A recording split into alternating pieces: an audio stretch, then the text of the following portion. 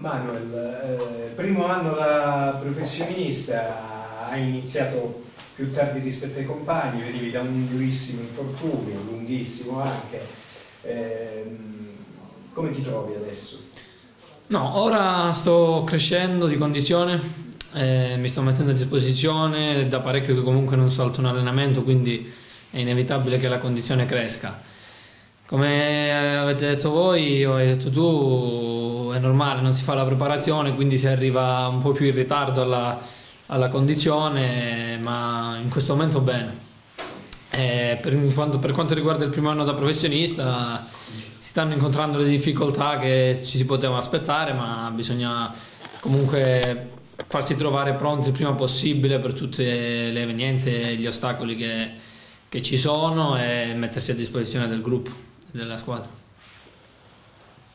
Tu, diciamo come eh, ruolo di partenza saresti un terzino sinistro di una difesa a 4, adesso con De Rigi siamo passati alla difesa a 3 che poi difende a 5, eh, tu largo a sinistra come hai fatto contro la Fide di Sande nel secondo tempo, come ti trovi?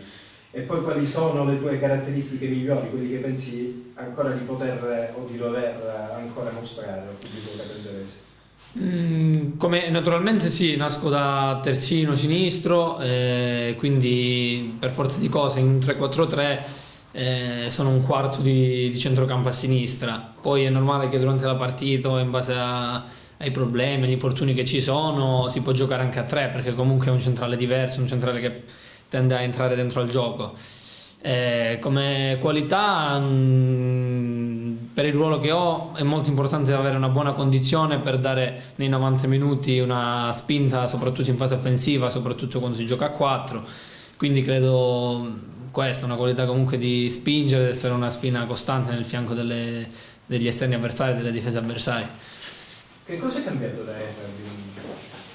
Mm, c'è un cambiamento di aggressività molto sui portatori eh, ognuno comunque fa quello che deve fare. Eh, ripeto, siamo molto più aggressivi, più eh, corti in un certo senso e quindi anche in, in, questo senso, come è successo nell'ultima partita che abbiamo subito poco, abbiamo preso pochi tiri in porta, è dovuto anche a questo. Perché comunque c'è una fase difensiva di tutti che sta crescendo e quindi questo, soprattutto questo.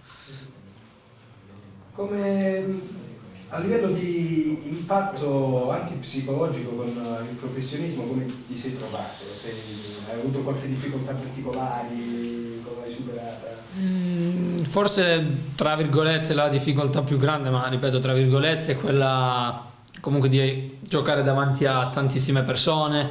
È questa, ma a livello di gioco sono abbastanza tranquillo sia negli allenamenti che per quel poco che sono riuscito a giocare, visti comunque anche i problemi che ho avuto prima Mm, non penso di aver avuto grossissime difficoltà da questo punto di vista. Più che altro è ritrovare diciamo, un equilibrio con le pressioni che ci sono da, da fuori, con la piazza e questo.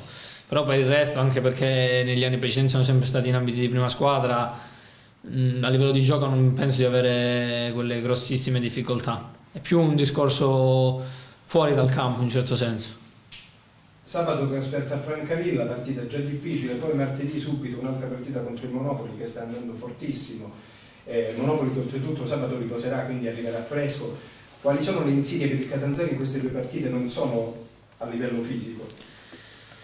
Mm, le insidie ci sono e soprattutto ora andiamo ad affrontare il Francavilla e dobbiamo dare un seguito a livello di prestazione soprattutto e poi ripeto non è neanche semplice perché comunque siamo pochi mentre servirebbe l'aiuto di tutti ma non solo per la partita ma anche per prepararle per allenarsi bene aumentare la qualità dell'allenamento. Ed è una cosa che in questo momento ci viene difficile. Quindi arrivare sicuramente corti a livello fisico come hai detto tu è un, è un fattore che ci può stare ma ci stiamo allenando bene per essere preparati appunto a questi incontri eh, ravvicinati eh, poi squadre come il Monopoli che stanno andando forte magari ci motivano di più a fare meglio e a dimostrare che possiamo fare bene, possiamo fare bene ecco. Comunque dare una continuità alle prestazioni, questo è l'obiettivo nelle prossime. Va bene.